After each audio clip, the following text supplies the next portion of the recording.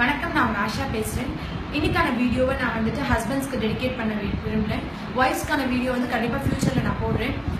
ஜென்ரலாக இப்போ நிறைய ஹஸ்பண்ட் அண்ட் ஒய்ஃப்ஸ் வந்துட்டு கவுன்சிலிங்கு ட்ரீட்மெண்ட்டு வா யார் மேலே தப்பு உன் மேலே தப்பா என் மேலே தப்பா நம்ம போய் ஒரு சைக்காட்டிஸ்ட்டை பார்ப்போம் அப்படின்னு சொல்லிட்டு என்கிட்ட வந்து அப்ரோச் பண்ணுறாங்க இதில் வந்துட்டு ஹஸ்பண்ட் சொல் வருஷன் பார்த்தீங்கன்னாக்கா நான் குடிக்கிறதில்ல சிகரெட் பிடிக்கிறதில்ல எனக்குன்னு எந்த கெட்ட பழக்கமும் இல்லை. என்னோட உலகம் என்னோட ஃபேமிலி தான். நான் வந்து வேலை முடிச்சா வீட்டுக்கு வந்துடுறேன். இவங்களோட தான் இருக்கேன். நான் அடிக்கடி மூவிஸ் கூட்டிகிட்டு போகிறேன் ஹோட்டல் கூட்டிகிட்டு போகிறேன் ஆனாலும் என் ஒய்ஃப் எப்பவுமே அழுதுட்டே இருக்கா. டிப்ரெஸ் ஆறா ஸ்ட்ரெஸ் ஆறா டென்ஷன் ஆறா அதிகபட்சமா வந்துட்டு கிள்ளிடுறாங்க அடிச்சிடுறாங்க அப்படி ரொம்ப கோவப்படுறாங்க.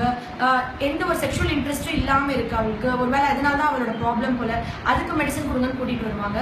அப்பதான் நான் இது என்னதான் ப்ராப்ளம்னு உள்ளுக்குள்ள போய் ஆராய்ச்சி பண்ணும்போது தான் எனக்கு புரிஞ்சது. ஜென்ரலா ஒரு ஃபீமேல் வந்துட்டு காலேந்திரிக்க துணி துவைக்க பாத்திரம் விளக்க வீடு கூட்ட சமைக்க பிள்ளைகளை ஸ்கூலுக்கு அனுப்ப வர ஈவினிங் ஒரு நாலு சீரியல் பார்க்க தூங்க இந்த மாதிரி ஒரு ரொட்டீன் லைஃப்ல இருக்காங்க. சிலர் வந்து ஒர்க்கிங் உமனா இருக்காங்க. பட் ரெண்டு பேருக்கும் ஒரு பெரிய டிஃபரன்ஸ் இல்லை ஒர்க்கிங் ஒரு ஹவுஸ் ஒய்ஃப் ரெண்டு பேருக்கும் equal amount of stress and depression இருக்கு.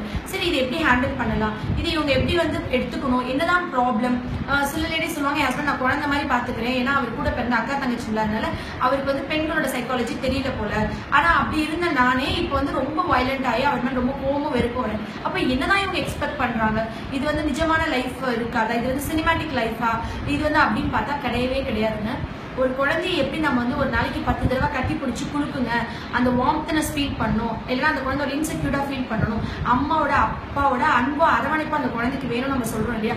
அதே மாதிரி ஒரு லேடிக்கும் வந்து கண்டிப்பாக ஹஸ்பண்டோடைய லவ் அண்ட் எஃபெக்ஷன் கேர் வேணும். எமோஷ்னலாக வந்து அவங்க வந்து உங்களோட கான்டாக்டாவோ இன்டிமேட்டாக இருந்தால் தான் ஃபிசிக்கல் கான்டாக்ட்க்கு எப்பவுமே கோஆப்ரேட் பண்ணுவாங்க. ஜென்ரலாக ஆடு மாடிலேருந்து அஞ்சு அறிவு ஜீவன்கள் வரைக்கும் எல்லாமே குட்டி போட தான் செய்யுது. இதுதான் டிஃப்ரென்ஸாக ஒரு ஹஸ்பண்ட் அண்ட் ஒய்ஃப்க்கும் ஒரு அனிமல்க்கும் பார்த்தா கிடையாதுங்க. இது வந்து நம்மளுக்கு ஆறாவது அறிவாக இருக்கிறது வந்து எமோஷன்ஸ் இது வந்து நிறைய மேல்ஸ்க்கு வந்து ஏன் தெரியல? இது வந்துட்டு இதுதான் நம்ம தப்பு பண்ணுறோம் நம்ம அவங்களுக்காண்டது இருக்கோம். எல்லாமே செஞ்சிடறோம். அவளுக்கு என்ன கூட நீ ஒன்று ஆக்குபை பண்ணிக்கோ நீ வந்து நாலு ஃப்ரெண்ட்ஸோட சேர்ந்து வாக்கிங் போ அப்பார்ட்மெண்ட்ல இருக்கோ கீழே கல்யாணம் நடந்து போ.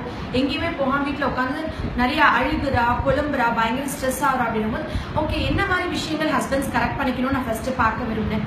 அப்பதான் நான் ஃபர்ஸ்ட் சொல்ற பாயிண்ட் வந்து don't take your wife as granted உங்க மனைவியை வந்து இவ தானே நம்ம ஒய்ஃப் தானே? எப்பனாலும் இவ வந்து நம்மளுக்காண்டி இங்க இருப்பா அப்படின்ற ஒரு செக்யூரிட்டி உங்களுக்கு ஃபீல் பண்றீங்க.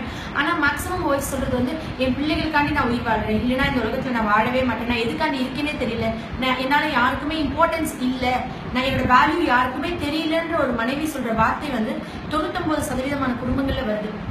இது எதனால வருது? இது எப்படி பண்றது? இது எதை எப்படி வந்து தடுக்கிறது அப்படின்னா ஒரு மேரேஜ் கில்லருன்ற ஒரு வார்த்தையை நான் அடிக்கடி சொல்வேன். மேரேஜ் கில்லர் வந்து என்னன்னா எப்போ ஒரு ஹஸ்பண்ட் ஒய்ஃப்க்கும் ஹஸ்பண்ட்க்கும் நடக்கிற பிரச்சனையில வந்துட்டு அப்பா அவரோட அப்பா அம்மாவோ இல்லை ஒய்ஃபோட அப்பா அம்மாவோ இன்டர்ஃபியர் பண்ண விடுறாரோ அதே மாதிரி ஃப்ரெண்ட்ஸ் கிட்ட பஞ்சாயத்து போடுறது இது இதுதான் ஃபர்ஸ்ட் மேரேஜ் கில்லர் இது வந்து ரொம்ப ரொம்ப மோசமான ஒரு கொடூரமான ஒரு ப்ராப்ளம் ஒரு மேரேஜ் லைஃப் மேரேஜ் லைஃப்ல எந்த சுச்சுவேஷனும் எந்த சூழ்நிலையும் உங்க ரெண்டு பேருக்குள்ள ப்ராப்ளமோ ஒரு தேர்ட் பர்சன் வச்சு பஞ்சாயத்து இல்ல அவ இப்படி பண்றா அப்படி பண்றா நீங்க சொல்லக்கூடாது.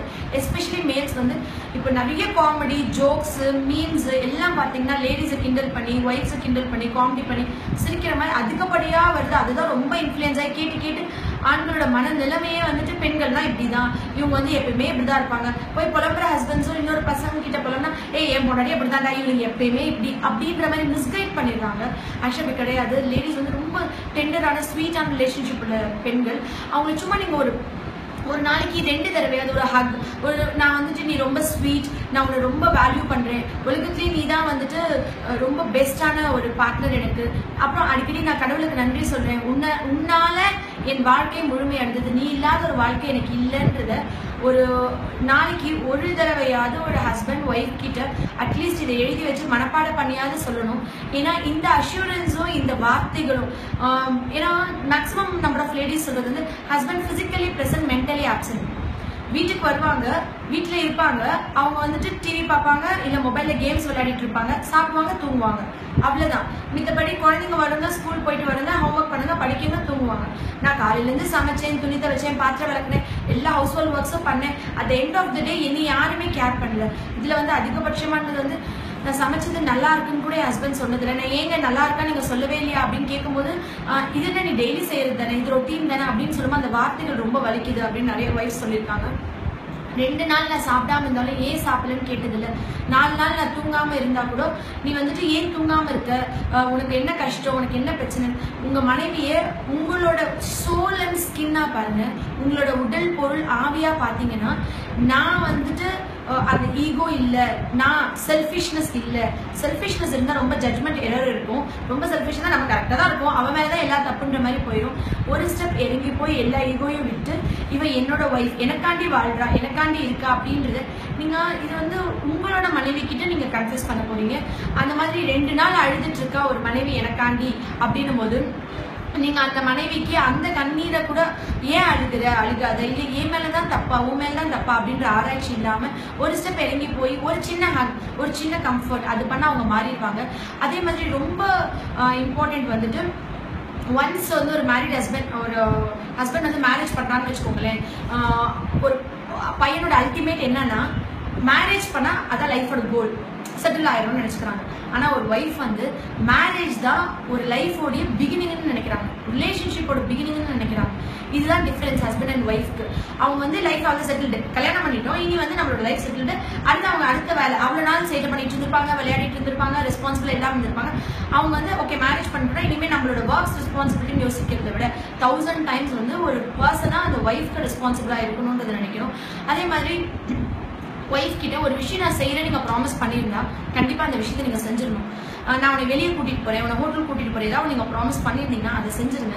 அதை நீங்க செஞ்சீங்கன்னா அவங்களுக்கு உங்க மேல நம்பிக்கை பல மடங்கு கூடும். நீங்க அதை செய்யாம விட்டீங்கன்னா அவங்க என்ன நினைச்சுக்குவாங்கன்னா நீங்க வந்துட்டு எல்லாத்துலயுமே அவங்களுக்கு கன்சிடர் பண்ணல நீங்க கொடுத்த ப்ராமிஸை கீப் அப் பண்ணல. நீங்க வந்து அவங்களுக்கு இம்பார்ட்டன்ஸ் தரலன்றமா அவங்க ஃபீல் பண்ண ஆரம்பிச்சிருவாங்க. அதே மாதிரி நெவர் கம்பேர் யுவர் ஒய்ஃப் இவ இவங்களோடயோ இன்னொருடையோ கம்பேர் பண்ணாதீங்க. பைபிளில் சொல்லியிருக்கிற ஒரு காமனான வார்த்தை வந்து இச்சையோட ஒரு ஆணோ பெண்ணோ இன்னொரு ஆணையோ பெண்ணையோ பார்க்கறது கூட ஒரு விபச்சாரம் தானே.